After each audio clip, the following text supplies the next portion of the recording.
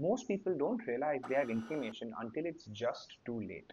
Signs like brain fog, joint pain, body ache, bloating, unexplained weight gain, slow healing, all these are signs that your body is inflamed. Turns out there are five ways you can actually test, not just guess, how much inflammation your body has. In this video, I'm going to go through all five tests. I'm going to tell you how expensive each one is and when you should consider doing them to identify if you have inflammation or not. The number one inflammation test that we do in India is called CRP. It's essentially an indicator of how much inflammation there is in your body. If you score less than 1 on the test, you're good. Between 1 and 3, you're beginning to have inflammation. More than 3, inflammation is almost definitely a problem.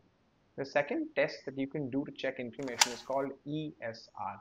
It's basically testing how quickly your red blood cells fall to the bottom of a test tube. The faster this happens, the more inflammation you have. If you start getting high values on your ESR test, it doesn't just mean you have inflammation. It usually means you have ongoing inflammation, meaning that inflammation is happening right now. That inflammation is usually restricted to areas like your veins and arteries but it also gives you an indication that it may be affecting other conditions like arthritis and joint pain. That's worth keeping in mind. The next way to test for inflammation is to see how your body is responding to it. Turns out when you have inflammation, your body starts increasing the content of a protein called IL-6. More IL-6 means more inflammation in your body. The fourth test is one of the most accurate. It's called the homocysteine test. You're essentially checking whether this marker of inflammation, homocysteine, is elevated in your body or not. Usually this level is high, it tells you that the inflammation again has to do with your vascular system, your arteries, your veins, and it's almost directly connected to your heart health. If your metabolism of B12 and other nutrients is impaired, your homocysteine level also starts to raise. So homocysteine is a very important marker if you are testing for inflammation. The last test is one of the most accurate for inflammation, but also the most uncommon in India.